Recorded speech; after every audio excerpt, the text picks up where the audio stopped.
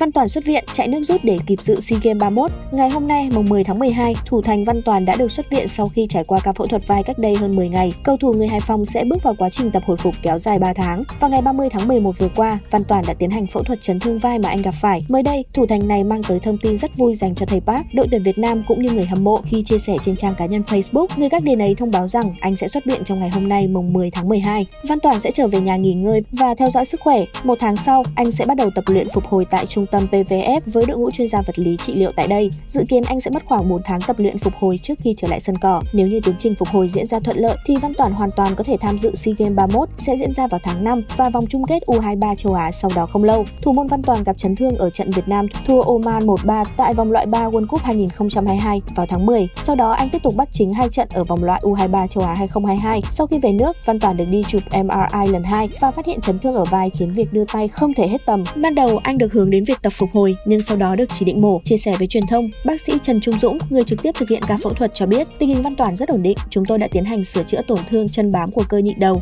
sụn viêm phía sau, đồng thời gia cố sụn viêm phía trước, kết hợp tiêm huyết tương giàu tiểu cầu để tăng khả năng liền của sụn viêm, giúp bệnh nhân hồi phục nhanh hơn. Dự kiến Văn Toàn sẽ cần khoảng 3 tháng nữa để hồi phục hoàn toàn. Như vậy, thủ môn này sẽ bỏ lỡ ít nhất là trận tái đấu của đội tuyển Việt Nam với Úc ở vòng loại thứ ba World Cup 2022. Tuy nhiên, Văn Toàn vẫn còn nhiều giải đấu quan trọng nữa như SEA Games, vòng chung kết U23 châu Á và ASEAN. nasihat ya.